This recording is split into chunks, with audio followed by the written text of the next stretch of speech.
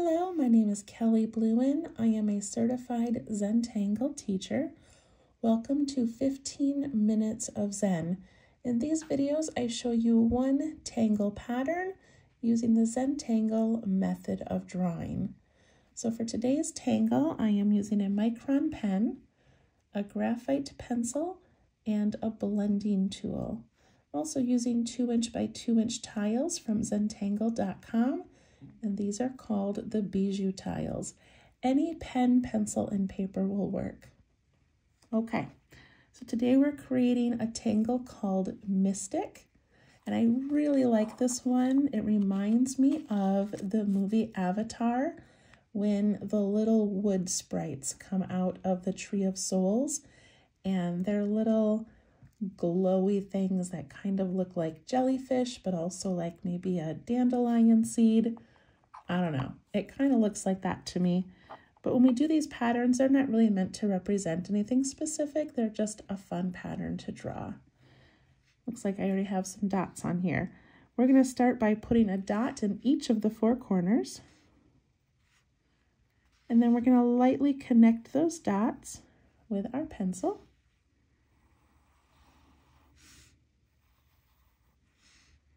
And those lines do not have to be straight that creates a little frame for our work. Okay, I'm to go ahead and pick up my pen and we'll create our first little mystic. So I'm to do mine over here and I like to make mine go right over the side of the frame. So I'm going to make an oval shape like that. And then at the top, I'm going to draw a smaller oval. I'm going to color that in. I like to leave a little white spot, like a little reflection. Don't have to. And then we're going to put these auras, these little lines, curving around, just however many fit in your space.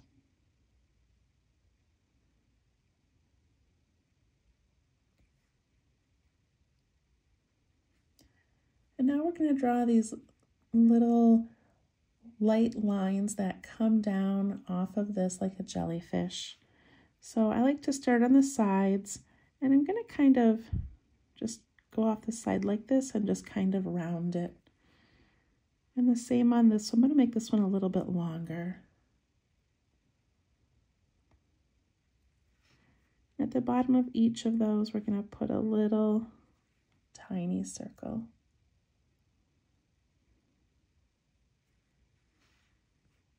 And now we're just going to pick areas to come off of, and you can do a wiggly line with a dot at the bottom. You can do a slight curve. These can cross over each other. Think about purposely making these different lengths. You can even do your pen so light then you lift it partway through and you end up with a broken line. And that's a beautiful effect.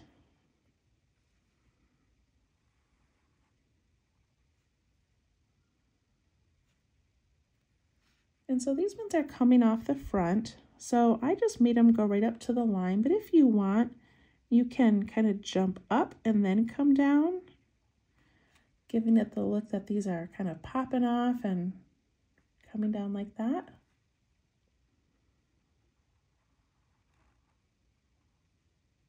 And then off the back, we're going to just put in these tiny little bumps randomly.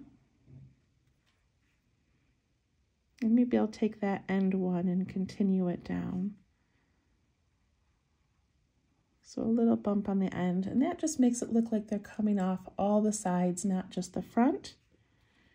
And if you want to fill in a little bit more, go ahead.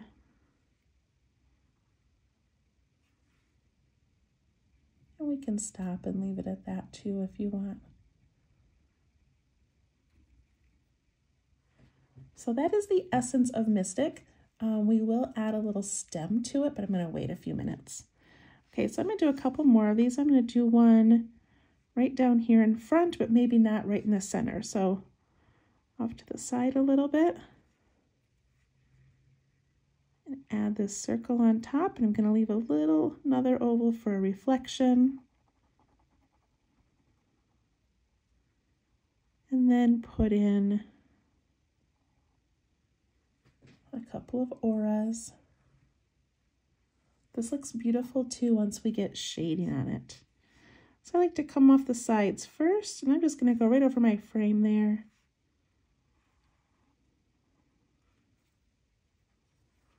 And I'm going to do a bump off the side. And a bump off that side.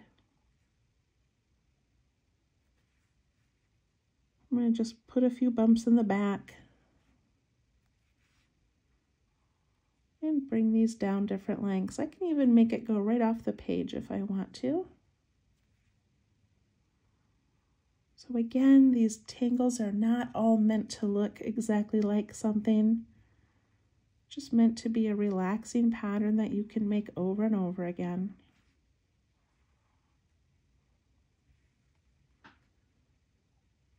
I'll put a couple bumps in front you can.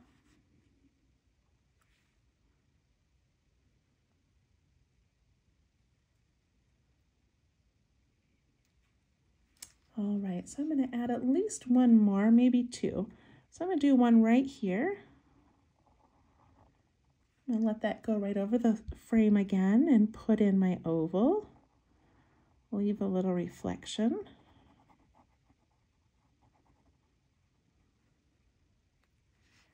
And then add those auras.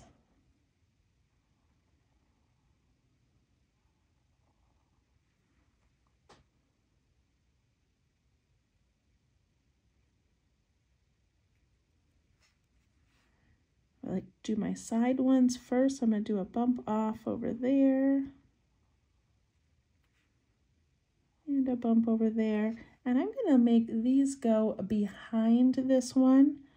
So it's going to go like that and then just come out the bottom somewhere. Well, you can't really tell anyway, but I'm just not going to make them go over the top of that right now. Do some bumps in front. Try to do one where you break up the line, add some interest.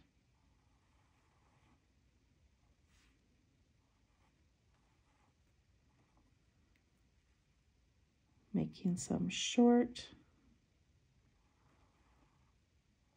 and some long.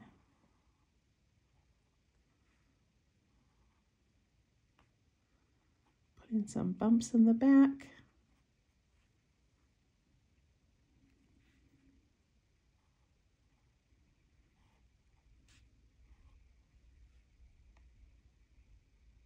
I'm going to do one more up here at the top.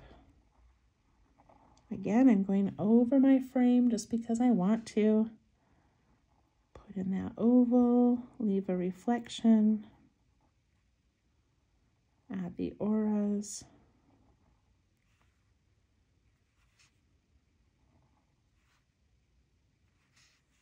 I like to go off the sides first. I think this one is going to be behind the rest of them, so if I make a line, it's just going to tuck in behind. It's not going to go over the top.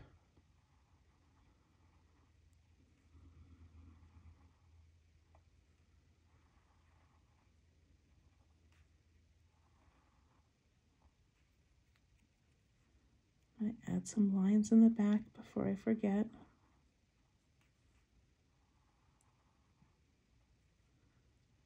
Some that are broken.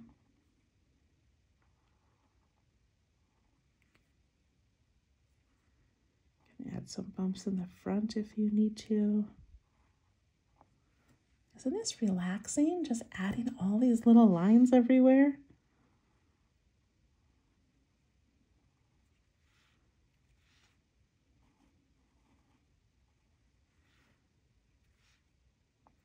Don't overthink it.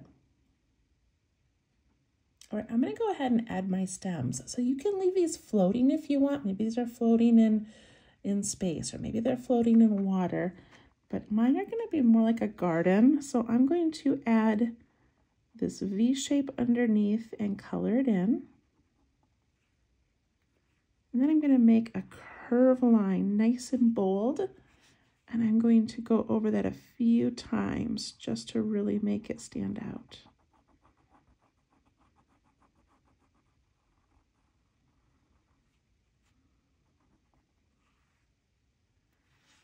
So I'm going to do one down here, make that little V shape and add. And I'm going to let this one go right down off my paper.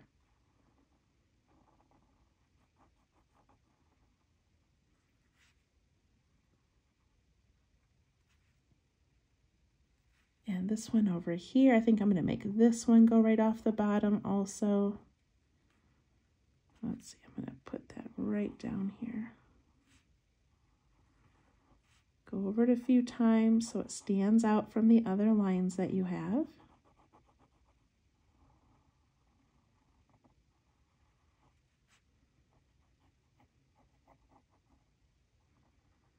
I'm going to darken the bottom of each of these shapes. We'll add some shading, but I'm also going to put this kind of a dark layer and start that shadow.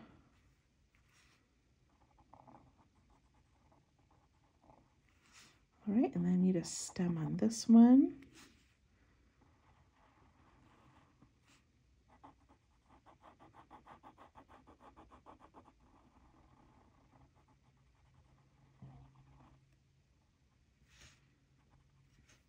Okay, and so before I shade, I'm going to add just some little purposeful dots.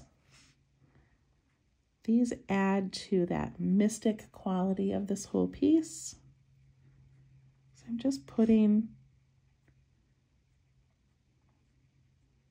some little dots in, and then I'm just going to take my pen and very lightly dab a few more that are smaller.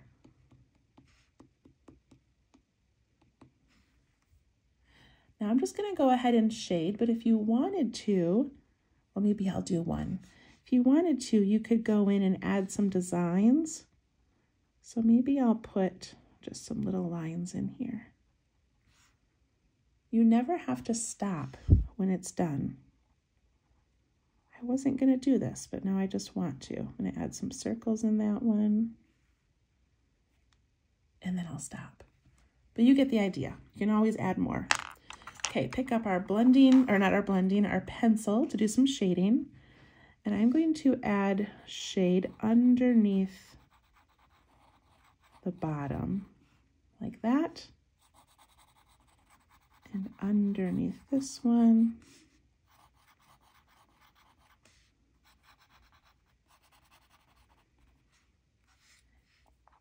And you can always go back and do your pen again, you know, if that pencil sort of lightens that black too much.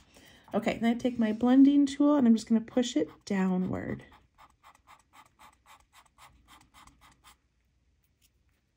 Isn't that pretty?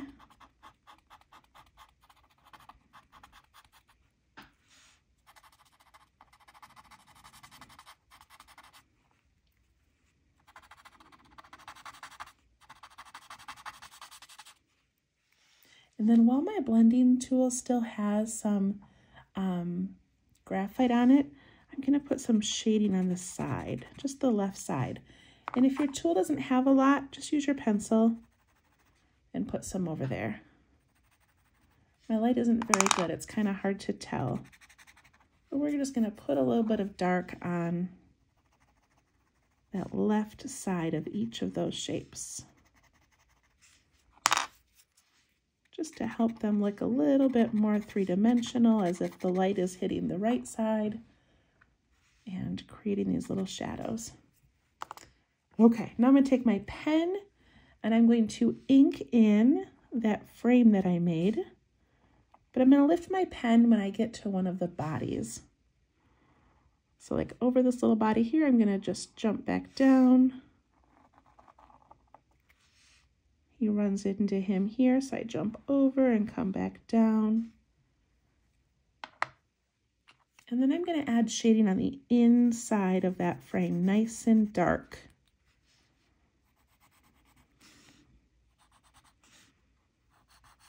And I'm doing that because I want that background to have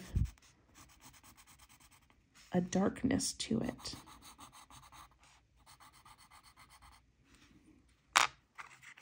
Take my blending tool and I push that towards the center.